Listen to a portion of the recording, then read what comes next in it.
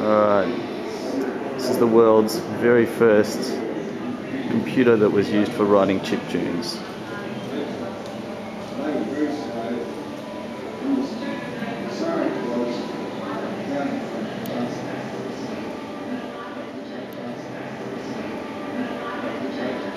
It's Pretty amazing.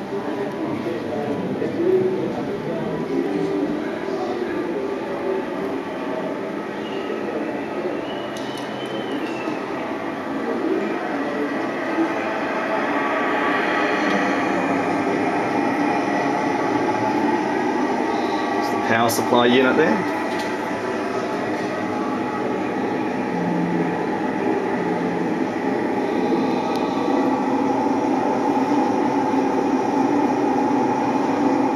Uh, believe it or not, that's actually the uh, the processing the part of the uh, processor.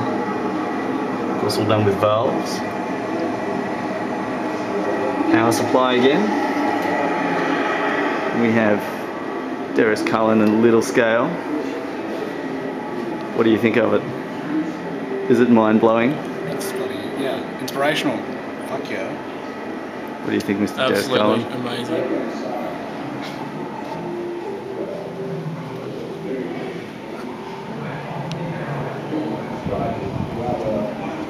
There's the uh, control panel. So hop on, man. it's amazing. And finally, we have the memory. But CSIRAC is that Which uses these things here. Much faster than solid state circuitry, so we very often had faults. After you switched it on and went through initial. Uh, Brett, do you want to explain how this memory works? Because I just love it. Special tests This one? Yeah. Test Uh, all the different It has a parts tube of mercury. It Mercury beams is sound waves into one end as a stream of ones and part the zeros, machine, and, and then waits for them to get to the other end, and then beams them back in. So they're circulating 40 degrees. through the tubes over and to over again. The machine off. It's all about the And you tubes. tend to see that the time when it was switched on. Because it's Sorry. off the air. That was completely irresistible. Well, this was really when, you know, all the data was in tubes, a series of tubes.